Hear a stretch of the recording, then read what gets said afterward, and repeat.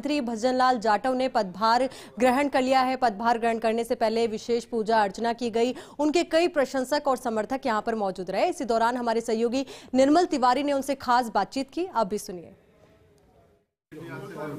हमारे साथ इस समय मौजूद हैं कैबिनेट मंत्री भजनलाल जाटव साहब। आपने आज सार्वजनिक निर्माण विभाग जैसे अहम विभाग का पदभार संभाला है। सबसे पहले तो आपको बहुत बधाई। चुनौतियाँ बहुत हैं, सड़कों का जाल बिछाना है गाँव ढाणी मजरे को जोड़ने की चुनौती रहेगी सड़कों से। तो किस तरह की व्यवस्थाएँ किस तरह की चुनौतियों को लेकर के आप सामने आगे बढ़ेंगे? बिल्कुल चुनौती कोई भी हो छोटी हो बड़ी हो चुनौती हमेशा स्वीकार करनी चाहिए। और जहाँ ऐसा हमारे पास नेतृत्व हो मुख्यमंत्री आदरणीय अशोक गहलोत जी जैसा तो फिर चुनौती कोई भी हो उसको हम स्वीकार करने के लिए तैयार हैं। और उनके दिशा निर्देश अनुसार जो हमें दिशा निर्देश मिलेंगे राजस्थान की जनता के हित में लगातार वो तीसरी बार मुख्यमंत्री हैं। और राजनीति का देखें तो जितनी हमारी उम्र है, उतना उनका राजनीतिक जीवन है। तो आप समझ सकते हैं उनका जो दिशा निर्देश मिलेगा, हम अपनी तरफ़ से कोशिश करेंगे कि राजस्थान की जनता को किसी तरह की असुविधा ना हो। और सड़कों का किस तरह से हम लोग नवीनीकरण कराएँ, नई सड़कों का निर्माण कराएँ, और किस तरह से बेहतरीन गुणवत्ता सड़कों की बने। देखिए, भजनलाल जी, केंद्र में नितिन गडकरी साहब का बड़ा अच्छा स्नेह रहा है, राजस्थान से काफ़ी कुछ उन्होंने दिया भी है। तो अब तक तो उनसे बड़ा अच्छा समन्वय रहा है, चाहे पूर्व में, चाहे पायलट साहब मंत्री रहे हो या उससे पहले भाजपा की सरकार हो। अब आप भी हैं। अब आप किस तरह से समन्वय स्थापित करेंगे? बड़े चार बड़े एक्सप्रेस वे भी राजस्थान से होकर के गुजर रहे हैं। तमाम दिल्ली, मुंबई एक्सप्रेस जैसा भी एक ग्रीनफील्ड कॉरिडोर तैयार हो रहा है। तो क्या लगता है कि अब आगे वाले जो ग्रीन हाईवेज को लेकर के कोई योजना डिपार्टमेंट के अधिकारियों के साथ बनेगी? बहुत सारी केंद्र और राज्य के बीच में जो योजना है, उनमें समन्वय बनाने के किस तरह से प्रयास होंगे?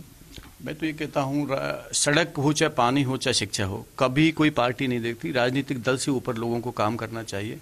सड़क बनती है उसमें भारतीय जनता पार्टी के लोग भी चलेंगे और चाहे वो कांग्रेस पार्टी के अन्य दल के सभी चलेंगे। और मुझे पूर्ण उम्मीदें हैं 25 के 25 यहाँ पर एमपी हैं कहीं यहाँ पर उस सरकार में मंत्री हैं तो मैं नहीं समझता कहीं ना कहीं सहयोग नहीं मिलेगा। मुझे पूर्ण आशा है कि वो केंद्र की सरकार और वहाँ के मंत्री पूर्ण सहयोग करेंगे। आपके ज़िले को लेकर भी बड़ी चुनौती है वहाँ भी सड़कों की स्थिति कोई बहुत ज़्यादा स्थिति नहीं है किस तरह से फोकस रहना है वहाँ?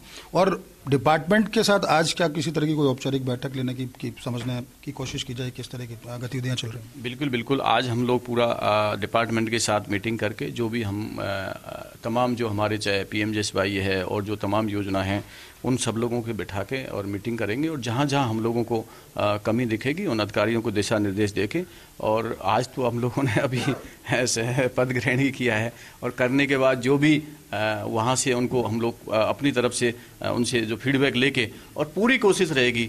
अब तक कोई कमी नहीं रही तीन साल के अंदर। आपने जिस तरह के बजट राजस्थान के तीन बजट आप लोगों ने देख लिए, कहीं कोई जनता में कहीं एक परसेंट भी नेगेटिविटी नहीं है। यदि नेगेटिविटी होती तो आप समझो कि इतना भारी बहुमत नगर पालिका नगर निगम, तमाम जो चुनाव हैं, पंचायत राज के बाई इलेक्शन के बहुत बेहतरीन परफॉर्मेंस रही है। अब भारतीय जनता पार्टी हताशा है और निराशा है और निश्चित तौर पर अब उत्तर प्रदेश के अंदर जो तमाम इलेक्शन होंगे, उन पर भारतीय जनता पार्टी अब बोलने के लिए कुछ नहीं है और खासकर शीर्ष नेतृत्व और माननीय मुख्यमंत्री जी ने एक ऐसा मास्टर स्ट्रोक चला है कि आप समझ सकते हैं कि बिल्कुल अब जो थी बातें, अब वो सारी बातें खत्म हो गई। और अब हम तो कहते हैं कि उत्तर प्रदेश और तमाम राज्यों में भी हमारी कांग्रेस पार्टी की सरकार बनेगी। आपके पूर्व विभाग में आपकी प्रशासनिक क्षमताओं की बड़ी कदर की जाती थी और माना जाता था। अब भजनलाल जाटव वाला फॉर्मूला पीडब्ल्यूडी के लिए क्या होगा? पीडब्ल्यू का फॉर्मूला मैं अभी सीट पे बैठ जाऊँ उसके बाद आपको बता दूँगा क्या फॉर्मूला होगा कैसे बनेगा। अभी तो सीट पे बैठूं मैं। सीट पे बैठने के बाद अधिकारियों के साथ बात होगी और फॉर्मूला होगी।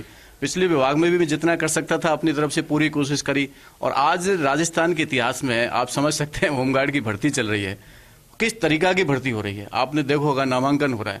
किस तरीका से वीडियो रिकॉर्डिंग होना, उसके बाद अपना, उसके अंदर चिप लगना कंप्यूटराइज भर्ती हो रही है? राजस्थान के इतिहास में पहली बार है। तो आप चिंता लो, पूरी पारदर्शिता के साथ काम करेंगे और पूरी राजस्थान की जनता को कितना बेहतरीन हम लोग सड़क दे सकें, सुरक्षा दे सकें, ये हमारी राजस्थान सरकार की ज़िम्मेदारी है। बहुत बहुत धन्यवाद। आप देख सकते हैं भजनलाल जी का आत्मविश्वास, उनकी संजीदगी तो निश्चित तौर पर कहा जा सकता है कि जब चीज़ें आगे बढ़ेंगी, आज पदभार संभाला है तो निश्चित तौर पर डिपार्टमेंट से संबंधित काम भी आगे बढ़ेंगे और प्रदेश के विकास में भी आपका योगदान अहम रहेगा। कैमरा पर्सन विजय के साथ Nirmal Tiwari, first India news, Jaipur.